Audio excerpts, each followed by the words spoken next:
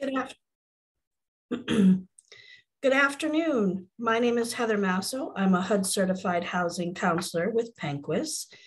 And today with us are four panelists from First National Bank. And today we're going to be talking about Homebuyer One on One, our second uh, lunch and learn. I've been approved. Now what? So I'd like to have the panelists introduce themselves and let us know what areas they work in to start off. And if we could start with Miss Becky, please, that would be wonderful. Thank you, Heather. I'm excited to be here today. My name is Becky St. Clair. I am a mortgage loan officer at the Rockport branch of First National Bank. I serve customers in Knox, Waldo, and Kennebec counties. Wonderful. David, would you introduce yourself, please? Yes, thank you, Heather. Good afternoon, everybody. My name is David Netto, and I'm a mortgage loan officer in the Damariscotta branch, and I serve Lincoln and Oxford counties. Awesome. Miss Brenda. Hi, Heather. Thanks so much for having us. Um, my name is Brenda Fernald. I'm a mortgage loan officer out of the Bar Harbor and Southwest Harbor branches and serve our customers here on Mount Desert Island and in other villages um, throughout Hancock County. And last but not least, Miss Lorna, please. Miss Lorna, you're muted. Thank you that. Perfect. Well, I'm saying welcome everybody. I'm Lorna Weber and I am the mortgage loan officer in our Boothbay Harbor office and I service clients from Lincoln County and York County. Wonderful. So as we're going, we'd like you to please ask questions in our chat box. We have several questions that each panelist will be answering today. If you missed our first lunch and learn the four C's of credit in the beginning process of getting prepared to purchase a home, you can go on Penquis's Facebook page to rewatch that, or you can log on to our uh, penquis.org website as well to watch that. But let's dive in. And again, please ask questions in the chat. And as soon as they come in, we'll make sure we address those. So we're going to start with Miss Becky, if we could, please. And we wanted to ask the difference. So what is the difference between a pre-approval and a pre-qualification? Sure. So the difference between the two, a pre-qualification is a more informal um, approval, and that's going to be based off information that the borrower is providing. Um, they might say, This is my credit score, this is my income, these are my liabilities, and they're going to get an approval amount based on that information. The pre approval is going to take it a step further and is going to require a formal application. Your credit will actually be run, um, income will be verified, so a lot more verification with the pre approval. And with that, uh, your lender is going to be able to give you a maximum pre-approval loan amount so you know ahead of time going into the buying process of what your pre-approved figure is. And um, a pre-approval letter is suggested as one of the first steps in the home buying process. Wonderful thank you. Moving over to david what are the different type of mortgages i may be reviewed for? That's a great question heather uh, so it's dependent on your situation. If you're a first time home buyer, you may be reviewed for anything that's low down payment to potentially no down payment, uh, such as Maine State housing or rural development. Potentially, if you're a veteran, could be looking at a VA loan, um, but backing up and looking at Maine State housing. If you're a first time home buyer and you take the first time or participate in the first time home buyer program, then upon completion, you would qualify for an advantage credit of $5,000 that can be applied towards your down payment and closing costs. Also, if you're not a first time home buyer and you're looking at more conventional financing, then you could potentially be looking at uh, Freddie Mac financing or secondary market financing typically the the difference there is it might be for more established borrowers and also that can provide you a uh, usually provide you a lower interest rate than than other loans might but that would be dependent on um, credit and the the type of the type of property that you're purchasing and loan to value as well.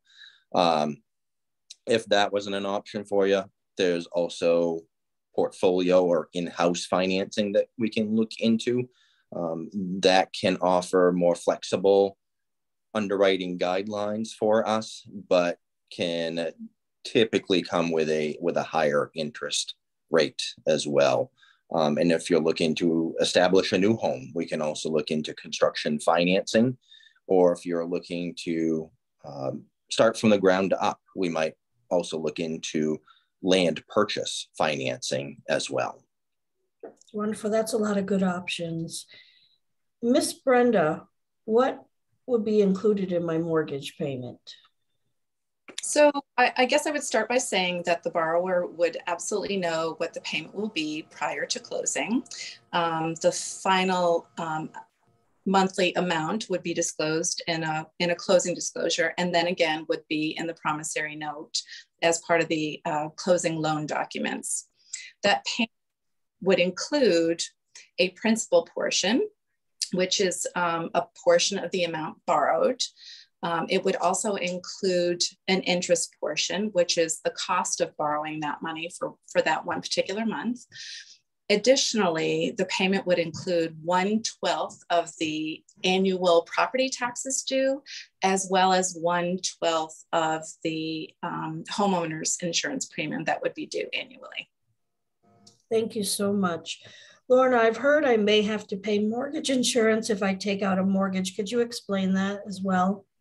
Yes, uh, mortgage insurance is also known um, as PMI, and that's private mortgage insurance, and that can become part of your your monthly payment, as Brenda was just describing, in um, a form of an additional insurance premium. The the private mortgage insurance will enable a borrower who doesn't or might not have uh, 20% down. Generally, it's required if you have less than 20% down. And that is an insurance policy that protects the against loss should they have to foreclose on a property if a customer was unable to maintain their payments. Um, it's not generally, it's based usually upon the loan to value, so the percentage of the purchase price that you're borrowing and your credit score. So, with more money down or an improved credit score, you might have a lower monthly premium. And that can definitely be a factor in how much you can be pre approved for as well. With some programs, that PMI will last for the life of the loan. Um, excuse me, if, for instance, if something is Maine housing using USDA rural development, and that's a percentage of the outstanding loan amount in the form of a monthly addition to your payment throughout the life of the loan. For uh, traditional mortgage products and conventional mortgage products, there's there's private mortgage insurance companies that can also enable somebody to come to a loan with less than 20% down. And that can be canceled at certain times throughout the process. Whatever the terms are for your mortgage insurance are going to be laid out clearly in all of your loan, loan closing documents so you'll know what to expect. You can sometimes cancel early if you've made extra payments on your principal and you've reached that 80%, 20% threshold earlier than expected. If you just want to make your monthly payment once you meet 78% of your original value, it will automatically drop off. Wonderful. That's good information. Becky, I understand I have to put money down when I'm purchasing a home. Can you explain how much I can expect to have to put down possibly?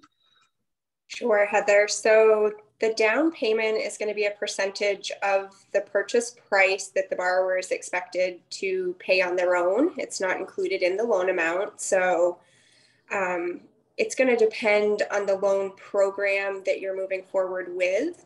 Some of those um, first time homebuyers loans might have a, a 0% uh, down payment option. Other conventional loan products are going to have um, down payment options from 3% all the way to 20% down. And like Lorna said, anything with less than 20% down, you're going to be looking at that additional monthly premium for private mortgage insurance. I think uh, the biggest thing to keep in mind is that there are many low down payment options available. So just um, discuss your scenario with your lender and come up with the best plan. Wonderful, thank you. David, I understand that there are costs um, associated with purchasing home. Um, what should I expect to pay for closing cost? That's a fantastic question, Heather. So closing costs are, are fees that are associated with your with your loan process. Um, they will vary and will depend on the type of product that you're applying for.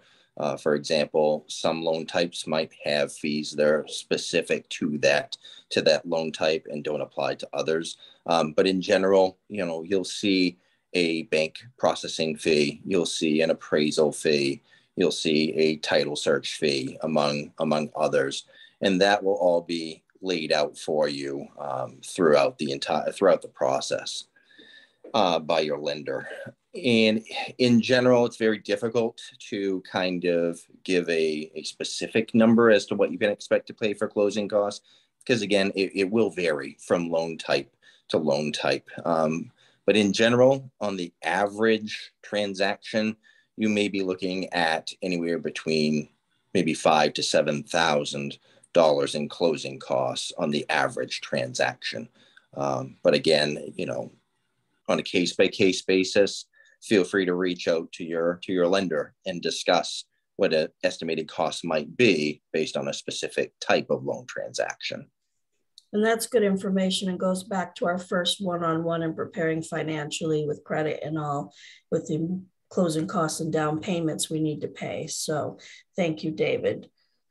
Brenda, um, who are the professionals that I, I could expect to be working with while um, going through a mortgage application process? There, are definitely a number of uh, professionals that you would be interacting with. Presuming that you are pre approved, um, you would have already met with a lender, one that you um, have an established relationship with, or perhaps somebody who had been recommended to help you through the mortgage um, process. Um, after you have uh, obtained that letter of pre-approval, you would take that to a realtor. And again, it would be somebody that you would want to have confidence in and somebody who um, knows exactly what you're looking for and will help you find the property um, to um, meet your needs. And that realtor could be somebody who's, again, recommended by somebody that you know, but also um, your lender would ha have some recommendations about realtors locally that would help you as well. After that, after you have secured a, um, hopefully, purchase and sale agreement based on an offer that has been accepted, you would likely want to um, engage somebody to do an inspection on the property. Although inspections are not required by the bank, they're definitely recommended because they can be a useful tool to the borrower to know what potential um, issues may crop up with the new purchase property. Once you feel confident that the property will meet the needs, um, you would then would want to meet with an insurance agency. And it could be uh, somebody that you already work with maybe for uh, vehicle insurance. But it could also be uh, it's also recommended if you if you would like to um, just get some pricing from different agencies and also get a sense for that particular agent and whether or not um, you feel that they would be somebody that you could work with comfortably and then finally, um, at closing, you would have an attorney. Um, the attorney would also be engaged prior to closing to do title work, um, but then would be the person who would handle the, the actual closing. Thank you so much. Miss Lorna, I hear there are different types of realtors. Um, can you break down the different type of realtors that I could possibly work with during the process? Yes, thank you. Um, there are there are the sellers. There's a seller's agent who is is usually the listing agent and has worked with the home seller to set their price and take care of things. And they they will represent the seller and advise them. There's a buyer's agent who would make an agreement with you as the, the home buyer to represent you and your specific interests and um, broaden that search of what kind of properties you're looking for and really do that deep down find the right properties for you to spend your valuable time looking at. Um, then there's also uh, a situation called a dual disclosed agent, and that does we do see that in some instances is where on the purchase contract the same agent is listed to represent both sides of the transaction, the seller and the buyer. And that's something that you want to educate yourself on uh, before you make that type of arrangement. There's also a transaction broker, which I can't say that I've really seen much of um, or really any. Uh, but that is a broker who, who simply assists in the purchase transaction. They don't really, they don't act in any advisory capacity to the seller or the buyer. And I believe that their responsibilities um, are a bit limited, but you'd want to research that too. Um, I see most folks will get their own buyer's agents just so that they know that somebody's got their back and they're they've got their best interests in mind when negotiating again, like everybody is referencing uh, the, the purchase price and what if something comes shows up in an inspection what do you do then? So the buyer broker is really important to have um, on your side. Yes you should definitely find a broker that works best for you and sign a buyer's agreement um, to help you uh, find the right house. The transaction broker, as Lorna stated, cannot advise you on anything as you're not under an agreement with them. So very limited access for you. So moving on to Miss Becky, I found my home and I need to make an offer. Um, how how do I make an offer to, to, to possibly purchase that home? Sure, Heather. So once you've found the home that you are interested in purchasing and you're ready to make that offer, you're going to want to work with your broker to come to the terms of the purchase and sales agreement. So you're going to want to determine what your uh, purchase price is on the offer. And that could be um, at asking price, it could be below asking price, or it could even be above asking price. And you're going to want to rely on your broker's expertise of the current market conditions, the location. Um, again, going to, you know, hopefully have chose a broker who has your best interest in mind to help you with the, determining uh, the best price point so that your offer may be accepted. Once you've come to those terms, um, including the purchase price and, and many other things that we'll touch on um, after, but that contract is going to be presented to the seller's agent, and that's usually submitted with a deadline for a response. So once, um, excuse me, the seller's agent receives it, you'll typically know within a couple of days whether your offer was accepted, rejected, or if the seller has come back with a counter offer. So, what that would mean is they've looked at your terms, adjusted them slightly more to their liking, and they are countering um, with their offer to see if you will agree to that. Um, at that point, you're just waiting to hear back. Wonderful. David, what are some terms that we may see that will be part of a purchase and sale agreement? Wonderful question, Heather. So some of the terms that you may see included in a purchase and sale agreement will include the financing terms. So we'll say what the expected uh, term of the mortgage will be as well in years, as well as the potential interest rate and the amount that the customer will be looking to finance. Um, other terms that you'll also see will include things such as the sales price, the amount of earnest money expected uh, to be collected from the buyer. And earnest money is simply put a, a small percentage of the purchase price that is held as like a, a, down payment from the buyer of the property. Sometimes you can see as little as $500 down, and I've seen sometimes as high as like $10,000 down. And those funds are held by the real estate agent in an escrow account until time of closing. And at the time of closing, those funds are brought to the closing and are applied to the funds that need to be collected from the customer. Um, other terms that you'll see will be um, in regards to an inspection. Typically, the the buyer and the seller will will discuss an inspection and if the buyer wants to have an inspection done they generally have up to 15 days from the time the agreement is signed to have that inspection done. And we'll discuss you know an inspection a little bit later on in this program.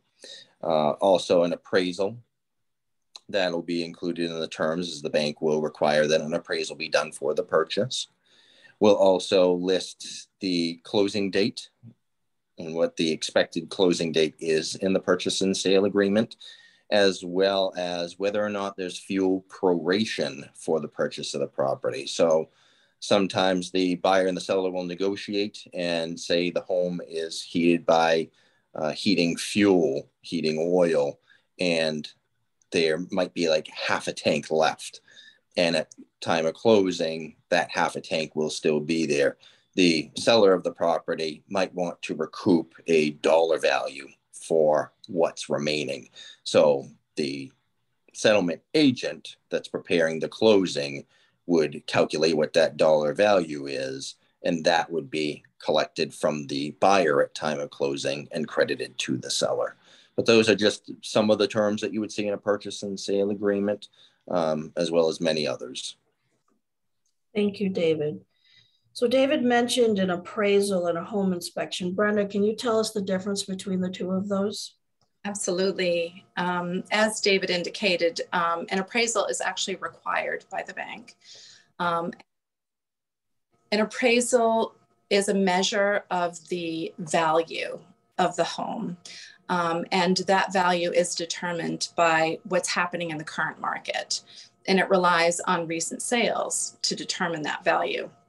So basically, an appraiser would visit the site, they would look at recent sales that align with the subject property and use that as a measure of the market value of the property. And they assign value to the land as well as value to what they call improvements, which is actually the structure um, that is on the land.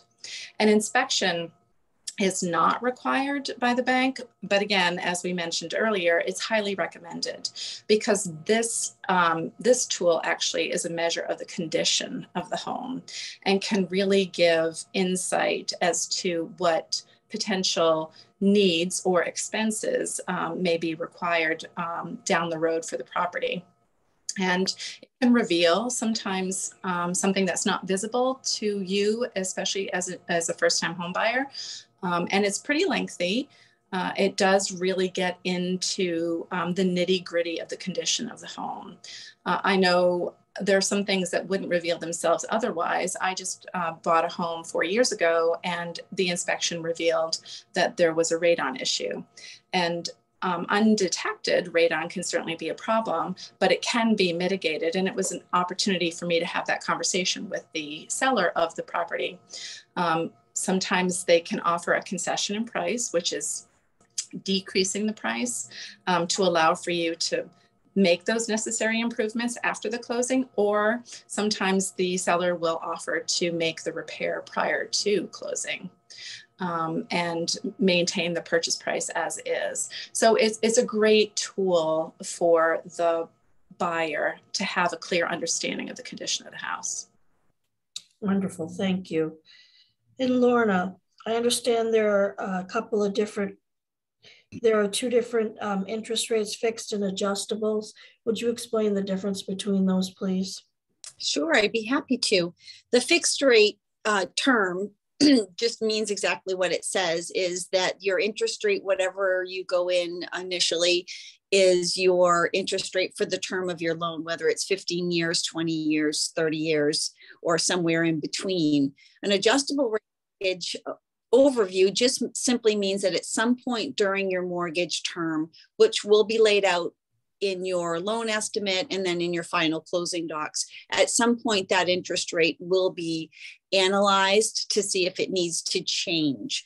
Um, generally an adjustable rate mortgage will have an initial fixed rate period and that can be anywhere from one year to i've seen up to 10 years. So that means for that first period it would be fixed at that initial rate.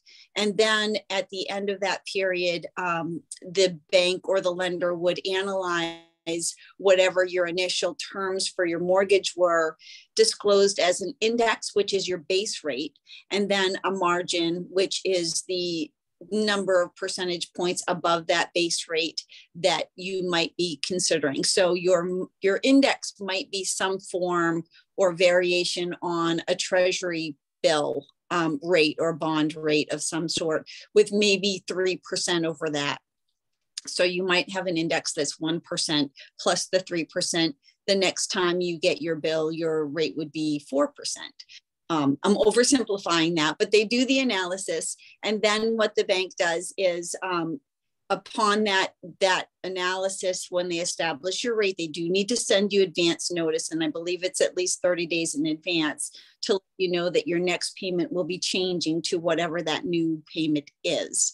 Um, they do have to let you know that. And then adjustable rate mortgages generally depending on the lender will have a rate cap so during that that adjustment period each time if it's a one year adjustment period it can't go up more than a certain protect percent. So there is a protection there so that your rates can't just keep going up and up.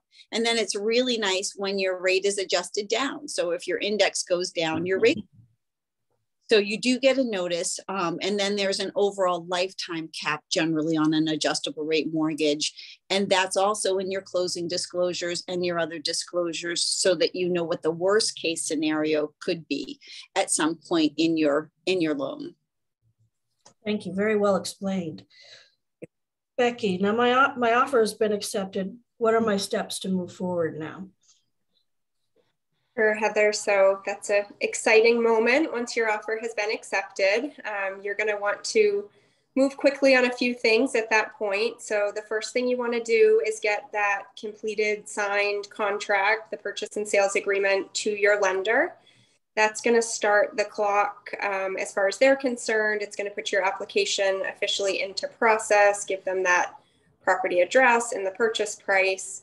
And from there, they're going to work on compliance items, getting disclosures to you, ordering the appraisal and the title work. Um, it's also going to start the clock on some of the things that you will be responsible for taking care of kind of quickly. So there's the earnest money deposit that we talked about. That typically has um, a deadline for you to get that to your broker that will be laid out in that contract. So just make sure you are um, completing that step. And then Brenda also discussed the importance of those home inspections, and you're going to have a deadline to complete those by. So um, you definitely want to get those scheduled as soon as possible for any inspections that you plan to have completed, um, building inspection, septic inspection, things of that nature. And as we discussed already, those that could change the terms of the contract. So you really want to make sure you're getting that done in a timely manner. Uh, the only other thing I can think of is just if you have outstanding documentation with your lender, be sure to get that to them as quickly as possible, just so that nothing delays the process and everything keeps moving quickly. Thank you so much. David, how do I know what the cost of obtaining a mortgage is going to be? And that's a great question, Heather. So, as Becky just mentioned, once you provide the fully executed purchase and sale agreement to your lender, that starts the clock for us. And within three business days of receiving that, we have to provide you with a initial loan disclosure package. Within that package is a document called a loan estimate. And that loan estimate will break things down for the customer as far as the amount you're borrowing, the your monthly payment, whether or not you're including taxes and insurance into your monthly payment, and then a breakdown of the fees. We'll show everything as far as like the bank's fees, the attorney's fees, um, and if they're collecting for escrow of taxes and insurance, how much that will will cost. It will also include any appraisal fees. Um, so all of that will be broken down on your loan estimate. And it's intended to be a, a worst case scenario. So I overemphasize on the word estimate um, because that that's what it is. It's meant to give you a, a very worst case scenario idea of what you would need to prepare for as you go through this process. And as we'll touch on later, you'll receive your um, final costs uh, in a document called the closing disclosure. And that's what will tell you exactly to the penny what the what the loan will will cost you at time of closing. But we'll touch on that in a little bit. Wonderful. Um, I um, urge anybody that if they haven't not urged, but if anybody has any questions while we're going through this, we could please put them in the chat so we can make we answer all your questions and you will have time after we're finished. Um, but we wanted to remind you that please, if anything pops up that you have questions about, to please put it, a question in the chat. So thank you, David. Brenda, I received my loan estimate and I see that there's an interest rate and an annual percentage rate or APR. Can you explain the difference between those two, please? Sure. Um, that can certainly be um, very confusing for, for first-time homebuyers or actually anybody who is uh, purchasing a home. I sometimes feel like um, the the buying process and the, the lending process and borrowing can be like learning a, a foreign language and interest rate and apr sounds like the same same um, language, but it is actually pretty uh, significantly different. The interest rate is what you would pay each year for borrowing the money that you're borrowing, um, and it's assessed monthly. The APR or annual percentage rate, as you indicated, um, Heather, is a broader measure um, of the total cost of the loan. So that percentage rate includes fees for, for the transaction and account maintenance over time. And typically that APR reveals itself as slightly higher than the interest rate. The borrower pays the interest rate. The APR is actually a measure of what the total cost is for the loan. Um, and because the APR does indicate the costs in addition to the interest rate, it's a great tool to use um, in comparing banks when you're shopping for rates and um, what that experience might be like with, with different banks. Thank you so much. Miss Lorna, are there things that I should avoid during the mortgage process or any tips or tricks you might have? Well, sure. Um, of course, it's it can be very daunting for especially a first-time home buyer to go through the process. Even if you've done all the research in the world, there's just so much going on. Some of the the general rule is don't do anything that's going to jeopardize your income flow or your expenses for which you've already been qualified or pre-approved because that's very important. You wouldn't want to get to the documentation stage and um, have gotten a new car loan and that car loan ends up making you no longer eligible for that loan. So we just caution folks um, don't quit your job unless you don't need it to qualify for this loan. Moving from one job to another if it's for a better position or you know a good circumstance if it's in the same role and it doesn't jeopardize what we call your income and your employment stability it's okay to do that but you really want to have that conversation with your lender before you take any steps with that um, you also don't want to be co-signing for anybody because if another credit report needs to be updated before your closing, that could show new debt that could also jeopardize your approval. Um, other than that, you don't want to spend all of your savings. Um, sometimes folks don't think about this, but they'll have a savings account and they'll think, I'm going to pay off all my credit cards so that I don't have that debt so that it looks better on a loan application. And I've actually had some folks where their savings account would have been put to better use as more of a down payment rather than um, rather than reducing some debt. It just had a different kind of impact. So if you're thinking of making any kind of changes during a pre-approval or during your application, I strongly urge that you talk with your lender to see how that might impact moving forward. Thank you. That's some really key information. And as we're talking about first-time homebuyer loans and you as possibly a first-time homebuyer, you may also want to think about taking a homebuyer education course. Um, Maine Housing has um, HomeWorks approved homebuyer education classes that are eight hours that you can take um, virtually right now. Um, I don't know any that are in person. There may be some.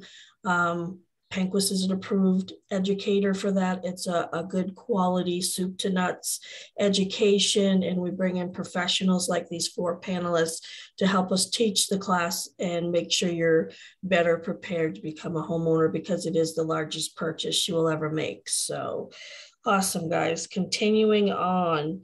I wanted to move to Becky and and have her give some thoughts on considering searching for a lender that's going to work best for you.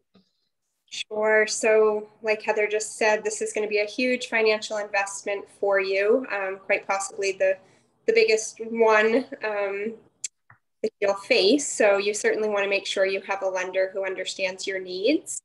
You're going to be working closely with your lender. Um, like Lorna was saying, anything changes to your financial picture, you're going to want to discuss with your lender. So, it's really important to make sure that you find a lender who offers the program that you're looking at. Um, they can, of course, guide you if, if they don't to another place, but not all lenders offer Maine State housing loans. Um, there's just different different types of loan programs offered by different lenders. So you definitely want to make sure your lender has a competitive interest rate, competitive closing cost, um, maybe see if they're strictly an online lender or if they will have time to meet with you in person. Um, depending on your comfort level, it might be really important to have somebody local that you can sit down with and that can really help you through the process. Wonderful. And that loan estimate is a good tool to help you when you're searching for a lender because looking at the, the interest rate in the APR, and like was mentioned previously, the fees can tell you whether it's worth to go with a lower rate or higher rate and what's most affordable for you. So thank you so much. David, uh, when should I lock in my interest rate? That's a great question, Heather.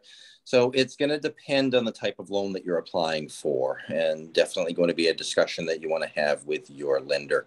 Um, if you're a first-time home buyer and you're looking at applying for any type of Maine State housing funding, then the lender is going to set your rate right at the start of the loan, and we're going to reserve funds for up to 120 days on that loan request. We also have the option in the in the event that we need more time we do have the option to extend that reservation of funds by an additional 30 days. If you're not looking for Maine State housing funding in that case, then, and we're looking at uh, more like Freddie Mac or secondary market financing, then we can set your rate uh, if that's what you're looking to do, set your rate at the start of the loan process. We would lock in the rate initially for up to 60 days. And in the event that we weren't able to close within that 60 days, then we could extend for an up to an additional 60 days. However, there would be an additional fee that would be incurred as part of that rate lock extension. Thank you so much. And Brenda, I know you talked about the payment and what it involves and they say that escrows could be included in my payment. Could you explain that a little further, please? Absolutely. So the escrow portion of that would be the portion that includes the property tax and homeowners insurance premium. And typically what happens is the bank establishes what's called an escrow account or also known as an escrow bucket into which the monthly portion um, designated for property taxes and homeowners insurance would be deposited. And then when those annual bills are due, the bank would actually make those payments on the borrower's behalf. And one of the benefits to an escrow um, is that it, it relieves the borrower of having to make those major annual payments, which sometimes can be problematic for borrowers. Um, additionally, it protects the bank's collateral by ensuring that um, no liens are placed on the subject property associated with um, non-payment of property taxes. Um, and uh, additionally, it's important to know that property taxes often fluctuate from year to year. And as a result, the bank does an escrow analysis annually. And then the payments will be adjusted according to the changes in property taxes due or homeowners insurance premium due annually. Um, if the bank ends up over collecting an amount that exceeds $50 in that escrow portion, um, they're required by law to refund that amount to the borrower. Thank you so much. Lorna, when should I start looking for my homeowner's insurance? Um, well, I when I'm working with clients in a pre-approval status, um, I actually advise them to start calling either the agent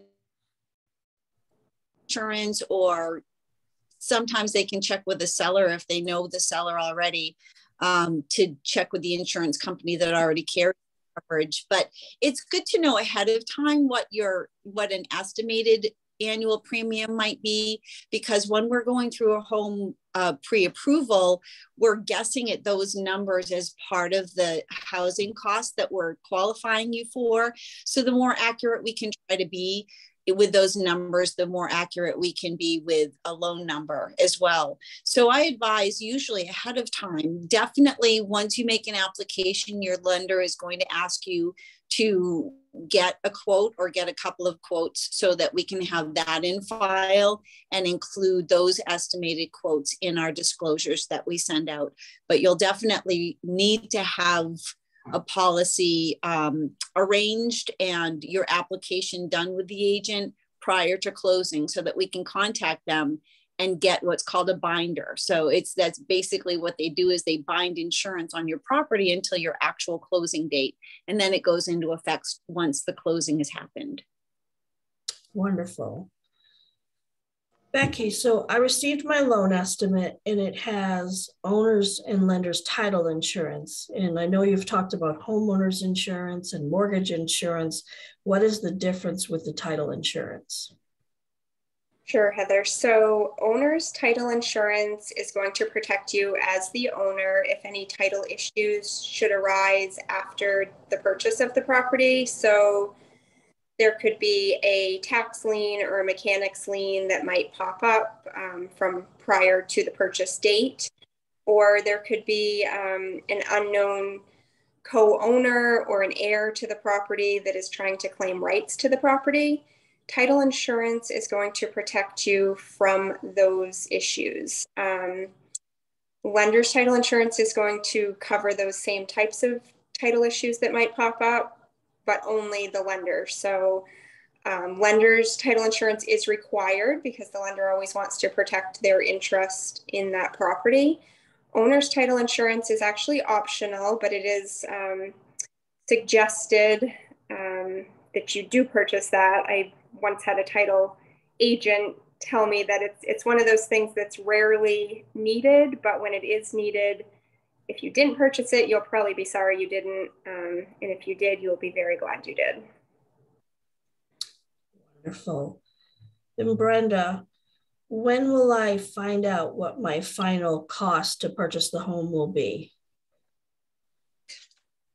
Uh, uh so with the final closing disclosure? Yes, ma'am. I'm assuming that's where we're going here. Um, so three days prior to closing, um, we are required to uh, provide a closing disclosure to the um, borrower. And this document contains all of the final details associated with the loan request, including terms, projected payment, fees, costs, and finally, um, the cash to close amount, the amount that you would have to come to closing with. Um, it, it also provides a comparison between what was estimated and what the actual costs were so that you can see where you started and, and where you ended up. Um, the, the final cash to close amount is something that you will manage either via cashier's check or perhaps a, a wire to the um, closing attorney's account so that they can manage those disbursements at closing. Wonderful. And Lorna, so my closing day is coming up. What can I expect and how do I prepare? Great. Um, well, if it's if it's coming up, you're gonna your broker, your real estate agent is gonna be asking you if you'd like to do a walkthrough of the property, probably the day before or the day of. Uh, many times it's the day of. So, and then you just go straight to closing and everything's all great. You'll have received your closing disclosure that has the final amount due and um, you can't write a personal check for that. So generally, you will have made arrangements either to wire the funds from your bank account to the closing agent's account or bring a cashier's check to closing. The settlement agent or the closing agent and the attorney, the title attorney takes all of the money in and then they disperse all of the money out from there. Um, if there are two of you buying the house and there's two of you on a mortgage or sometimes there's even four generally most all of the parties need to be present at least the uh, the mortgage borrowers need to be present at closing with identification because the attorney is responsible for making sure that um, the right people are signing the right documents. Sometimes the seller is there, sometimes it's not. Sometimes the agent is there, sometimes not. Uh, generally, as a lender, I like to be at closings, but not all lenders do. So you can expect that it's at least going to be you, the home buyer, and the closing agent at closing with your ID and your funds. Um, sometimes there's there's some really nice conversation that goes on about memories in the home that the seller might have. Um, but generally, at the end of the signing, you'll sign your loan documents and then you'll sign the transfer documents, which actually is going to tell all of the agencies that the property ownership is transferring from the seller to the to the buyer. And um, that seller or the agent, the real estate agent, may let you know who serviced the furnace in the past. There might be contractor contact information or, um, or just a reminder to transfer the utilities into your name. All of those little final tidbits come together on closing day. And then once it's all over, you're a homeowner. Wonderful. And you want to make sure that once you get in, move into your home, that you get to know your home, uh, know where your shut-off valves are, um, save for maintenance, prepare to maintain your home, um, and post those important phone numbers, change your locks, um, all those kind of basic things. Um, are there any questions in our chat box at this time? I'm not seeing any. Is there any other things our panelists would like to add? Heather, can I add something in regards to the title search? Of course you can. So um, prior to closing, prior to closing, the lender will have the title attorney perform a title search. And what that title search is doing is it's going back and looking at public records over the past 40 years and it's verifying who the legal owner of the property is and if they indeed have a right to sell that property. It's also looking if there at if there are any liens or judgments against the property so that if there are those can be taken care of prior to closing and don't leave the buyer of the property stuck with those to deal with after closing. Um, for example i've had a couple instances where a title search was performed and there were mortgages um, listed against the property that the current owner was not even aware of. They were had thought that they had been discharged by a previous mortgage company, and they had not. But luckily, we were able to clear those prior to closing, so that when the uh, buyer purchased the property and we closed, they had a clear and a clear and marketable title to the property. So they were starting off clean with just the mortgage that they were getting as a lien on the property. So um, that is a very important piece and, and very helpful to the to the buyer as they go through this process. Thank you so much for adding that, David that's all of our questions. I don't know if the panelists have any other questions to ask. We want to thank uh, First National Bank for partnering with Penquis to do our two lunch and learns. Uh, along with the last homebuyer one-on-one lunch and learn, this will be posted to our Facebook page as well as the penquis.org website.